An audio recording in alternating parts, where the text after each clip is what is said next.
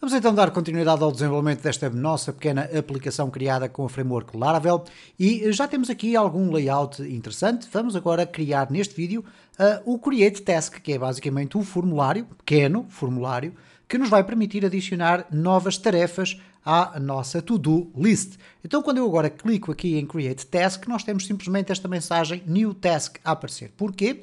Porque num dos vídeos anteriores desta playlist nós já criámos aqui o New Task. E o New Task tem apenas aqui o echo New Task. Então o que nós vamos ter que fazer aqui é basicamente o quê? Uh, display New Task Form. Okay? Apresentar a nova, eh, uma nova view para uh, uh, os formulários. Ou, neste caso, peço desculpa, apresentar uma nova view que contém um formulário para adicionar uma nova task. Então nós vamos aqui simplesmente copiar tudo isto, tudo isto aqui, ok? Não vamos necessitar por agora de puxar aqui uh, data. Aqui não vamos ter o home, vamos colocar aqui new task form, FRM, ou vocês podem colocar form, não tem qualquer problema. E nós não temos esta view, ok? Então agora iríamos ter obviamente um erro quando clicamos aqui, porque o sistema não vai encontrar a view. Uh, uh, new task form was not found. Então vamos criá-la aqui. O que é que nós vamos aproveitar? Bom, uma vez que o nosso home já é uma extensão do main layout, vamos fazer simplesmente um Ctrl C para copiar, Ctrl V para colar e agora muita atenção. Reparem, vocês podem achar estranho, bom, mas eu tenho um fecheiro de uh, blade.php que de um momento para o outro passou a ser um fecheiro de, P, de PHP puro. Não, isso simplesmente pelo facto do Visual Studio Code colocar aqui blade espaço copy. Okay? Quando vocês forem editar aqui o nome e voltarem a ter aqui blade, vocês vão ter esta mensagem a vermelha a dizer que já existe um fecheiro na mesma pasta com o mesmo nome, mas o que nós vamos fazer agora aqui é colocar o nome que está aqui, neste caso New Task Form.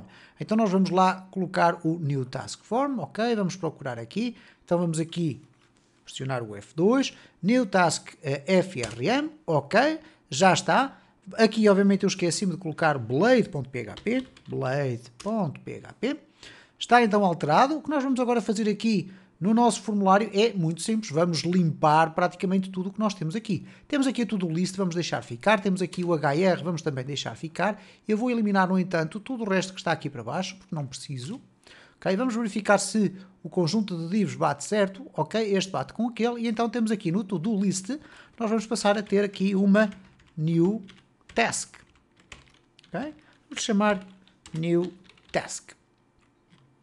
Bom, vamos verificar então se o nosso sistema já está a funcionar corretamente. Neste caso ele vai aqui para a New Task, ok? Porque é esse o título que nós temos ali. O que nós vamos fazer aqui na New Task é criar um formulário. E para criar um formulário nós vamos fazer aqui o Form. E no Form nós vamos usar então o método Post, ok? Então vamos fazer aqui um Form. Uh, com uh, já a sua estrutura base.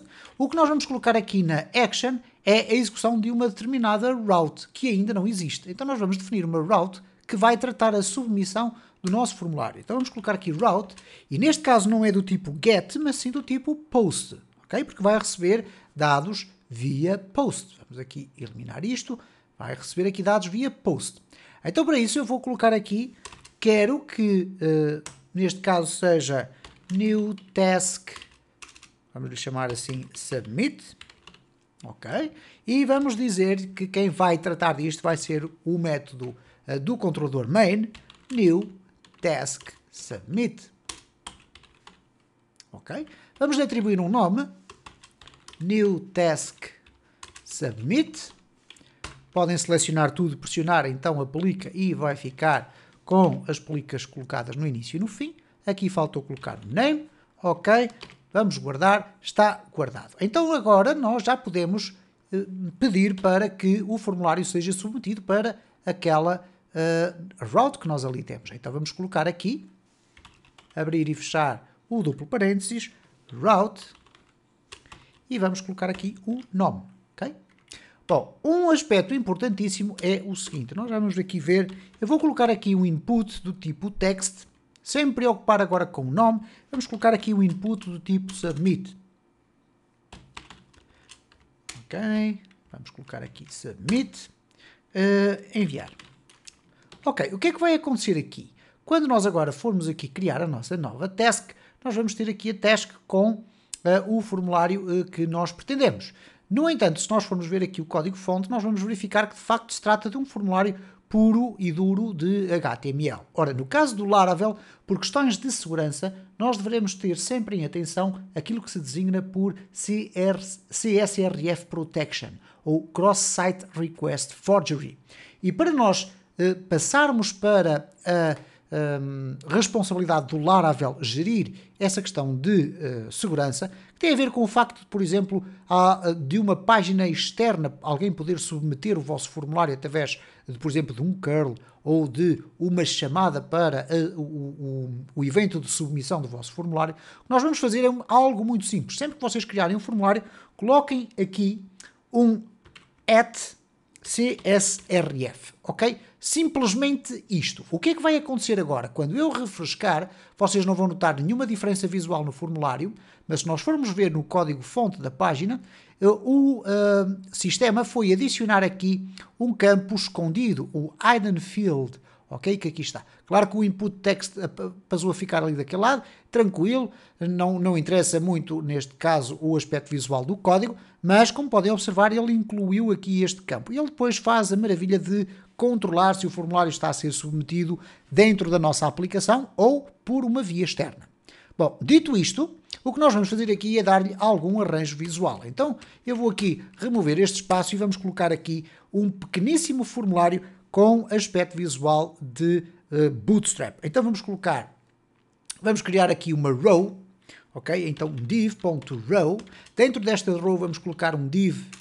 Ponto, uh, ups, ponto, call sm4.offset sm4.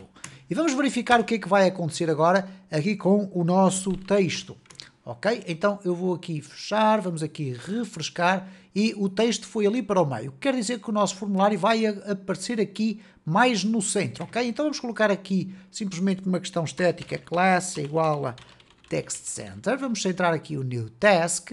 Vamos eh, dizer aqui também que vai ter uma margem bottom de 5 e agora vamos colocar aqui então no nosso formulário uh, o seguinte, vamos fazer aqui uma row, ok, a row está feita, vamos criar aqui um div.formGroup e dentro deste form group vamos colocar um label, este label vai ser para o task, o text new task, ok, new task, é o título do campo.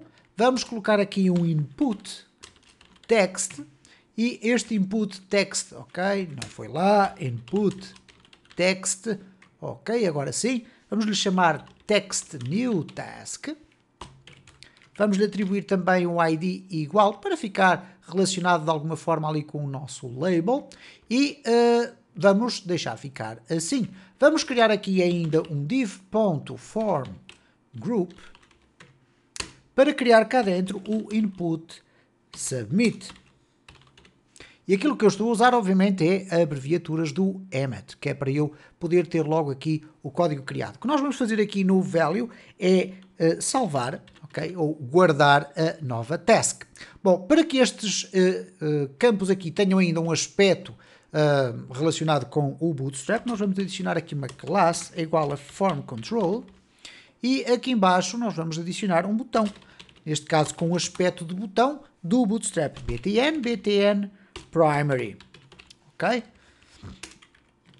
Vamos então verificar como é que está a ficar o aspecto visual do nosso formulário. Cá está então, nós temos New Task, New Task, temos aqui o espaço para escrever então a nossa tarefa e depois para salvar. Temos aqui o texto, ora, este, obviamente que este texto é isto que aqui está. O que nós vamos poder fazer aqui é uma outra circunstância, que eu costumo fazer com alguma frequência, que é colocar aqui um ahref com uma classe também de btn, btn secondary. Isto é um botão diferente que vai ter aqui um cancel, ok? Ou então, neste caso, vamos colocar, e sim, vamos colocar aqui um cancel, já que estamos a fazer isto em inglês. Bom, o que é que vai acontecer aqui então?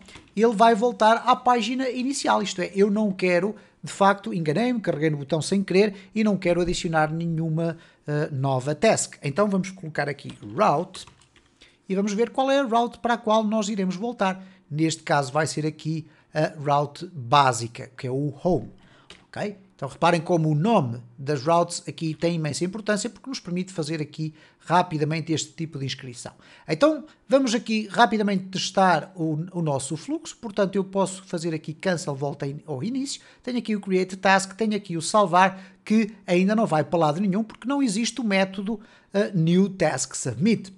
Bom, nós já iremos tratar do método New Task Submit, porque eu quero depois introduzir-vos aqui algo que é extraordinariamente importante na framework do Laravel, que é o Request. Iremos falar nele já no decorrer do próximo vídeo. De qualquer das formas, eu quero vos dizer que a partir do momento em que nós temos aqui então o nosso sistema já criado, neste caso o nosso formulário, nós depois vamos ter a possibilidade de aprender a fazer validações. E isso vai ser na sequência do estudo do request. O que é, que é esta história do request? Se vocês olharem aqui no final deste vídeo, apenas para esta indicação que aqui está, que é Use Illuminate HTTP Request, ele está agora com esta tonalidade por uma razão simples. Não está a ser utilizado.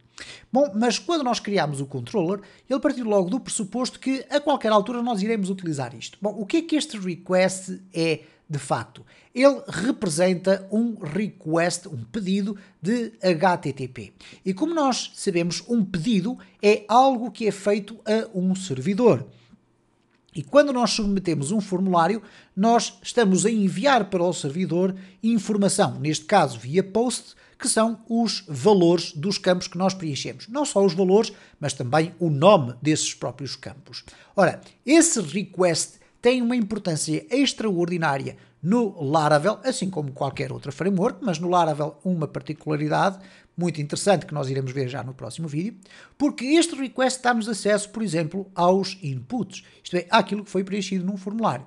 Então, quando nós formos criar aqui o nosso método, nós poderíamos fazê-lo de uma forma muito simples, que é aqui o public function new task submit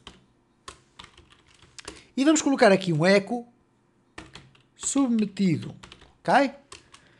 Vamos verificar se vai funcionar. Isto é, eu vou aqui voltar atrás, vamos aqui refrescar, tudo certo, teste, salvar. E como vocês podem observar, nós temos aqui de facto a submissão a, a, a puxar-nos para o interior deste método, onde nós iremos trabalhar então a submissão dos dados. A questão que fica aqui no ar é a seguinte: como é que nós chegamos ao valor do text new task. Como é que nós chegamos a este valor? Então é isso que nós vamos ver no próximo vídeo desta série.